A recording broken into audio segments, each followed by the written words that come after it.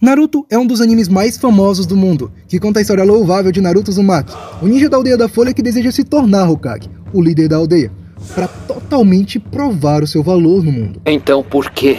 Porque eu vou ser maior do que todos eles.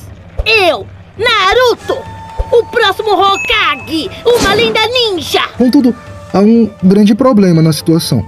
Naruto ele tem selado dentro do seu corpo um ser muito poderoso, o que é temido por todas as nações, a raposa de nove caudas, ou Kyuubi, que assume o comando das suas atitudes todas as vezes que o Naruto perde o controle de suas emoções, geralmente quando ele está tomado pelo ódio. A raposa acaba por deixar Naruto bem mais forte quando assume o poder, porém, mesmo com os benefícios de ter o poder da raposa, Naruto percebe o quão ruim aquilo era para a vida dele e o perigo que aquele ser era para as pessoas ao seu redor.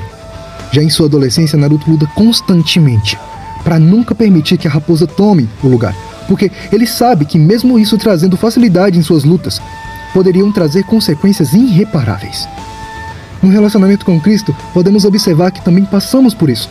Na carta de Paulo aos Gálatas, no capítulo 5, no versículo 17, diz: Pois a carne deseja o que é contrário ao espírito, e o espírito o que é contrário à carne. Eles estão em conflito um com o outro, de modo que vocês não fazem o que desejam. O Espírito Santo e a carne lutam constantemente pelo domínio e muitas vezes permitimos que a carne tome conta das nossas ações. E, por consequência, acabamos pecando de muitas maneiras.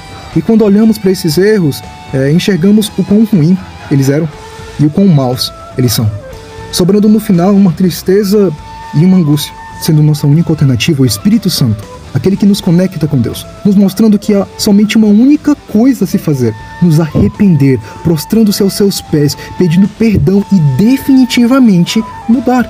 Precisamos saber que, assim como Naruto, devemos conter a raposa que representa a carne dentro de nós, que constantemente deseja tomar o controle das nossas ações para satisfazer os próprios desejos. Desejos esses que são contrários à vontade de Deus, pois o Espírito Santo deseja a pureza, já a carne é a pornografia.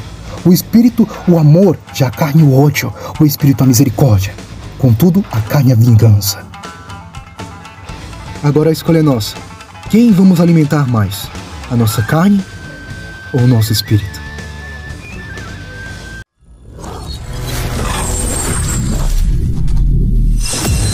Geekiologia, pregando o evangelho da maneira mais geek possível.